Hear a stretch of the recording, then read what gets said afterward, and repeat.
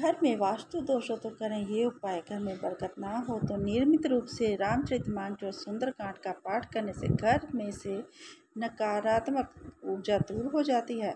Number दो, वास्तु दोष करने के लिए घर के एक कोने में भीगा कपूर जलाकर रखें।